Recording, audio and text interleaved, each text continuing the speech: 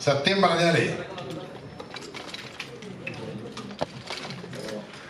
ഞാൻ ആലോചിക്കായിരുന്നേ ഈ എന്റെ ഇടത്തും വലത്തും ഇരിക്കുന്ന ഈ രണ്ടു പേർ ഈ സിനിമയിൽ വളരെ യാദൃച്ഛികമായിരുന്നു ഈ ഇരിക്കുന്ന ജോർജിന്റെ സ്ഥാനത്ത് നാസർ ആയിരുന്നു നേരത്തെ കാസ്റ്റ് ചെയ്യപ്പെട്ടത്. അപ്പം നാസറാണ് വേഷം അനുഭവി അഭിനയിച്ചുവെങ്കിൽ ഈ സ്ഫടികം നാസർ ഒരിക്കലും ഉണ്ടാവില്ല. ഇപ്പൊ കേരളത്തിൽ ലോകമെമ്പാടും സ്ഫടികം ജോർജിനെ ഒരു ഒരു സുഹൃത ജപം പോലെ മനുഷ്യർ പറയാൻ തുടങ്ങി. ഇദ്ദേഹത്തെ അഭിനയിച്ച് പടം റിലീസായതിനു ശേഷം ഇങ്ങനെ ഒരു മുഖം ഇവിടുന്ന് തപ്പിയെടുത്ത് എന്റെ ഭഗവാന്. അതാണ് സണ്ണി. സണ്ണി പോലീസുകാരനാണ് റിട്ടയർ ചെയ്തല്ലേ? ഡി വൈ എസ് പി ആയിട്ട് റിട്ടയർ ചെയ്തു. ഉണ്ടാണെങ്കിലും ജോർജ് ചേട്ടാ സംസാരിക്കുന്ന? ആ സ്പടികത്തിലെ ഡയലോഗ് ഒന്ന് പറഞ്ഞു ജോർജ് ചേട്ടാ സ്പടികത്തിലെ ഡയലോഗ് ഒന്ന് പറയോ? ആ ആ മൈക്ക് ഒന്ന് സൗണ്ട് ഒന്ന് ക്ലിയർ ചെയ്ത്. മൊബൈലിൽ ഷൂട്ട് ചെയ്യലൊന്നും കേട്ടാ എല്ലാരും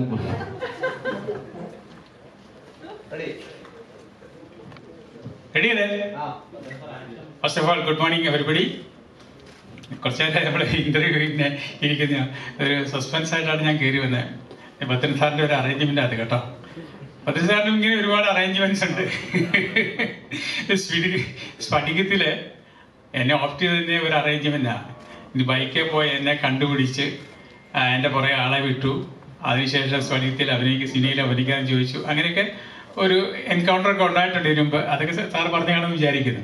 അല്ലെങ്കിൽ സാറിനെ കൂടെ പറയിപ്പിക്കാം. ഓക്കെ നമുക്കൊരു ചെറിയ ഡയലോഗ് പറയാം.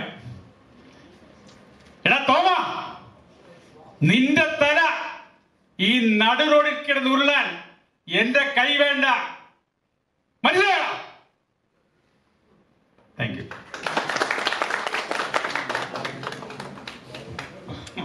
അതിനുശേഷം സോമ ഒരു ഡയലോഗ് പറയുന്നുണ്ട്. ചേച്ചി ഇയാളെ അകത്തോട്ട് വിളിച്ചു കൊണ്ടുപോയി ഇയാളെ ഞണ്ണാൻ കൊടുക്കുന്നു സാറിന്റെ സാറി ഡയലോഗൊന്നും മറന്നിട്ടില്ല. ഞങ്ങളുടെ ഷൂട്ടിംഗ് അനുഭവം ഒരു വളരെ നല്ലൊരു അനുഭവമായിരുന്നു. പലപ്പോഴും ഷൂട്ടിംഗ് നടക്കുന്ന സമയത്ത് ക്ലൗഡ്സ് ഉണ്ടാവും. അപ്പോൾ ക്ലൗഡ്സ് ഉണ്ടാകുമ്പം എന്റെ സീൻ വരുമ്പോഴത്തേനും മിക്കവാറും ആ ക്ലൗഡ്സൊക്കെ മാറിക്കഴിയും. അപ്പം ഭദ്ര സാർ പറയും ഇവിടെ താൻ വരുമ്പോഴൊക്കെ ക്ലൗഡ്സ് ഒക്കെ മാറി പോകുന്നുണ്ടല്ലോ ഇങ്ങനെ പറയാം. ചിലപ്പം മഴ പെയ്യും. കാരണം മഴ ആവശ്യമാകുന്നത് മഴയും ചൂടും തണുപ്പൊക്കെ ഇല്ലാതെ പ്രകൃതി വേണമല്ലോ. അപ്പോൾ പ്രകൃതിക്ക് ആവശ്യമാണ്. അപ്പം ചിലപ്പോൾ പ്രകൃതി നമുക്ക് അനുകൂലമാവും ചിലപ്പം പ്രതികൂലമാവും. അവിടെയൊക്കെ ചില സമയത്ത് സാർ ഡിസ്റ്റർബ് ആവും. അപ്പം ഞാൻ പറയും സാറിന് സാറേ എല്ലാം ശരിയാവും. അപ്പം ഞങ്ങളിങ്ങനെ അങ്ങോട്ടും ഇങ്ങോട്ടും പ്രകൃതിയുടെ കാര്യവും അഭിനയത്തിന്റെ കാര്യവും പിന്നെ ഒരു കാര്യം സാറ് പറഞ്ഞു ഞാൻ ഈ യൂണിഫോം ഇട്ട് ചെന്നപ്പം എനിക്ക് യൂണിഫോം ഇടാതെയാണല്ലോ ഇവിടെ ഇന്റർവ്യൂ ഒക്കെ നടത്തിയത്. യൂണിഫോം ഇട്ട് ചെന്നപ്പോൾ സാറ് പറഞ്ഞു തനിക്ക് ഈ പോലീസ് വേഷം നന്നായി ഇണങ്ങുന്നുണ്ടെന്ന് പറഞ്ഞു. ശരിയാ സാറിന്റെ നാവുണ്ടായി ഒരുപാട് പോലീസ് വേഷം അതിനുശേഷം ചെയ്തു സ്ഫടികത്തിന്റെ ചൂട് പിടിച്ച്. തീർച്ചയായും സ്ഫടികം എന്റെ ജീവിതത്തിന്റെ ഒരു വലിയ വഴിത്തിരിവാണ്. എന്റെ വ്യക്തിപരമായ ജീവിതത്തിലും കലാജീവിതത്തിലും സ്ഫടികം എനിക്കൊരു വലിയ വഴിത്തിരിവാണ്. എക്കാലവും ഞാൻ അനുസ്മരിക്കുന്നുണ്ട് ഭദ്രൻ സാറിന്റെ എന്നെ തിരഞ്ഞെടുത്തതിന് ഞാൻ നന്ദിയുണ്ട്. കാരണം എന്നിലൊരു കലാകാരനുണ്ട്. ഞാനൊരു അമച്ചർ കലാകാരൻ അപ്പൊ എന്നിലൊരു നല്ല കലാകാരനുണ്ട്. ഒരു പോലീസ് ഓഫീസർ വേഷം ചെയ്യാനേക്ക് പറ്റും എന്നൊക്കെ പറഞ്ഞപ്പോൾ ആദ്യം ഞാൻ വിശ്വസിച്ചില്ല. എന്നോട് സാർ പറഞ്ഞ ഒരു വാക്ക് ഇപ്പോഴും എനിക്ക് ഓർമ്മയുണ്ട്. അതായത് തന്റെ ജീവിതത്തിൽ ഇനി ഇതുപോലൊരു പോലീസ് വേഷം ഒരിക്കലും ചെയ്യില്ലെന്ന് പറഞ്ഞു. ഞാൻ വിചാരിച്ചു പുഴുവായിരിക്കുന്നു പക്ഷേ നമ്മൾ ഷൂട്ടിംഗ് തുടങ്ങി. ഷൂട്ടിംഗ് പുരോഗമിക്കുമ്പോൾ ഓരോ മിനിറ്റിലും അതെനിക്ക് ബോധ്യപ്പെട്ടുകൊണ്ടിരുന്നു. ഇതിന്റെ സ്റ്റിൽ ഫോട്ടോഗ്രാഫർ എന്ന ഒരു വ്യക്തി എന്റെ ഫോട്ടോ ഒന്നും എടുത്തില്ല. അതായത് ചിന്തിച്ച് ഞാൻ വന്നു പോകുന്ന ഒരു കഥാപാത്രം ജൂനിയർ ആർട്ടിസ്റ്റാണ് ഞാൻ പോകുന്നോ രണ്ടോ സീൻ അഭിനയിച്ചിട്ട് പോകും. അതുകൊണ്ട് എന്റെ ഫോട്ടോ ഒന്നും എടുത്തില്ല. സ്പടികം റിലീസ് ചെയ്ത സമയത്ത് എന്റെ ഫോട്ടോ ഇല്ലായിരുന്നു. അപ്പോഴാണ് ഈ സ്റ്റിൽ ഫോട്ടോഗ്രാഫർ ചോദിച്ചു അയ്യോ അദ്ദേഹം ജൂനിയർ ആർട്ടിസ്റ്റ് അല്ലേ? വന്നിട്ട് പോകുന്ന ആളല്ലേ? പക്ഷേ ജൂനിയർ ആർട്ടിസ്റ്റ് അല്ല. എന്റെ സീനിയർ ആർട്ടിസ്റ്റ് ആക്കിയത് നമ്മുടെ പ്രിയപ്പെട്ട ഭദ്രൻ സാറാണ്. തീർച്ചയായും ആത്മാർത്ഥമായ നന്ദി രേഖപ്പെടുത്തിക്കൊള്ളുന്നു.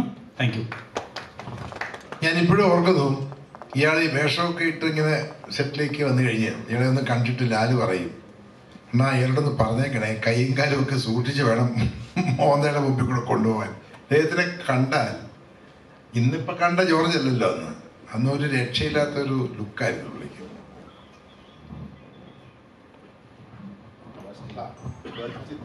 ഇനിയിപ്പോ ഈ ബാസ്റ്റിനോട് എന്തെങ്കിലുമൊക്കെ ചോദിക്കും.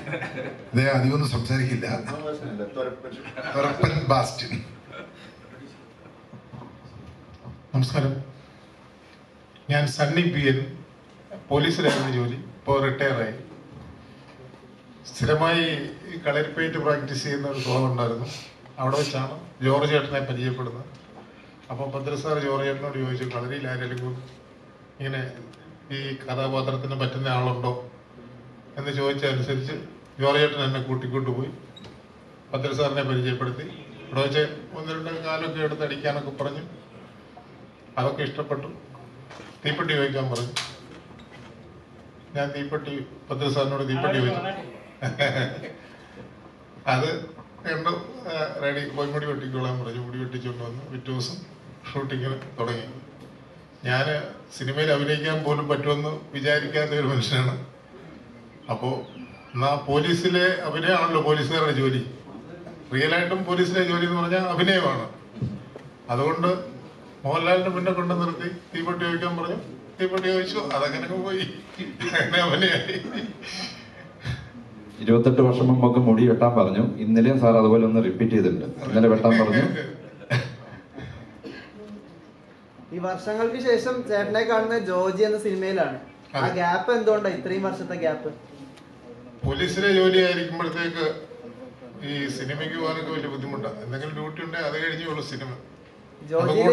ജോജിയിലേക്ക് വിളിച്ചപ്പോ ഒരു രണ്ടാമതൊന്ന് ചിന്തിച്ചിരുന്നോ?